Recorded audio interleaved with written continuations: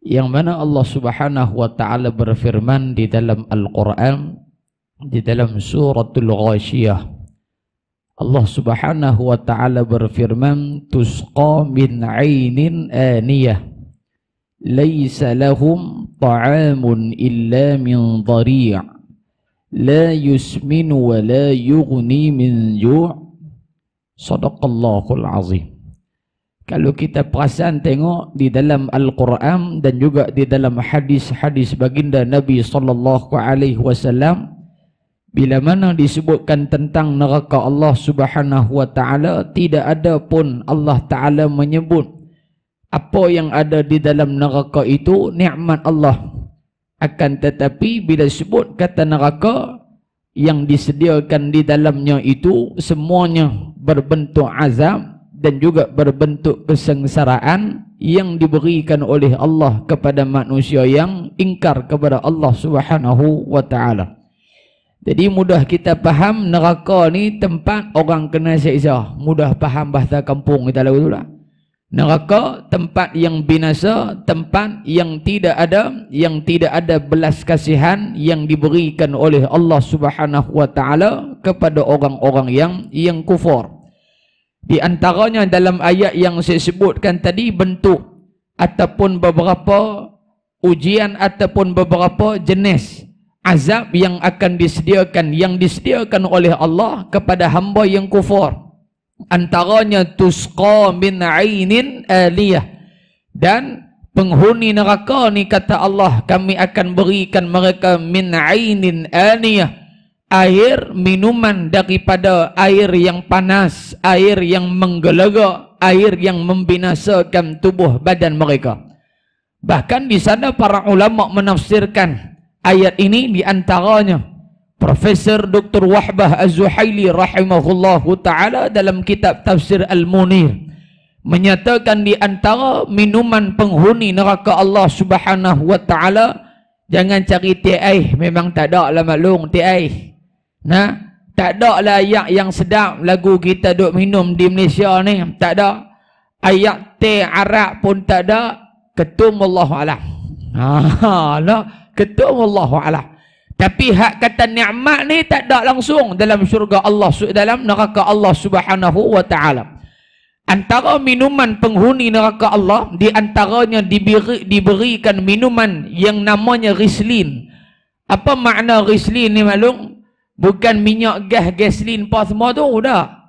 Yang kata rislin ni iaitu minuman yang menggelegak, yang panas. Bila mana penghuni neraka ni minta ke Allah Ta'ala, Ya Allah, bagilah kami nak minum dahaga, Ya Allah. Kami dahaga ni, Ya Allah, panas nak mampu eh, dalam ni ni. Kan?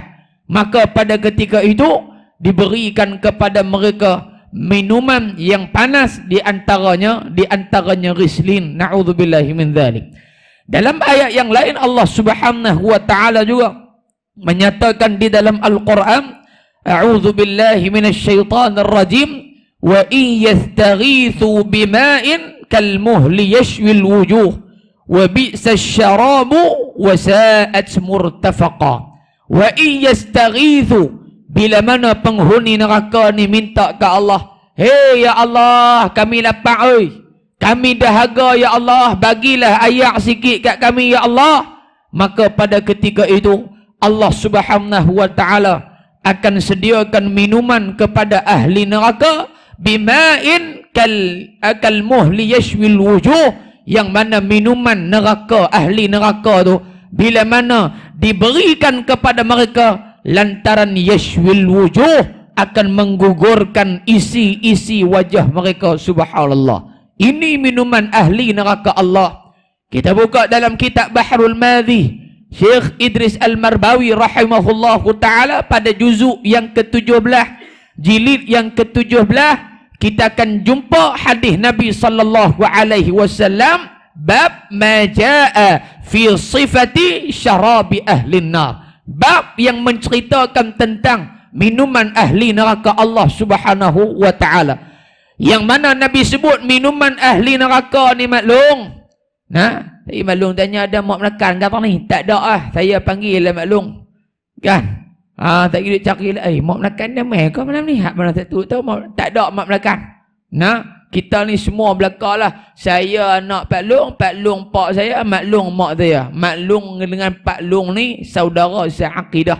Ah, bukan makna pak saya tu pak mentua lain pula. Dak, dak, dak, dak. Bukan lagu tu. Mau cari pasal belakang tu. Ha, lah. Bukan dia takut. Pasal bini menakutkan. Ha, lebih kurang tu dah. Betul tak? Pak Long duk renyih kat dia. Pak Long pun macam tu duduk seorang pergi gelap. Kan? Ha, contoh-contoh Mak Long kata dia cerita bab neraka dia kena fikir oleh pula dah. Kan? Tak mau bagi tidur. Tengok mata pun sampai pukul 3 pagi. Baru pukul 8 tengah dia buat teruk dah kita ni. Orang Pening panggil buat apa? Buat ranjau. Ada buat ranjau. Buat ranjau, dia buat ramai, dia buat teruk. Ha, tu tu. Bahasa Pening tu dia bunyi kasar. Ha? Maka apa dia? Nabi sebut dalam hadis tu bila mana penghuni neraka ni minta ayat Allah Taala bagi ayat mahu balak malung faham ngono ustaz faham tak ayat ha faham tak faham. Mana ada kedah lagi ya. Minta ayat maka didatangkan kepada mereka minuman. Tak ada nak minum pergi maklum. Baru sampai saja ayat tersebut.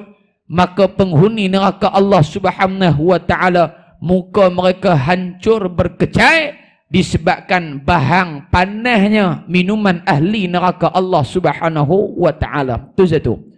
Nah, apa minit tau? No, sampai bateri habis cerita dia. Ha, ada baru ni kami forum di Kuala Muda. Forum anak muda. Tajuk dia forum sampai pensan. Tu dia eh, forum sampai pensan. Hak kami takut forum ni apa moderator tak pingsan. Takut hak nak dengar lu pingsan. Kami nak forum dengan siapa pula?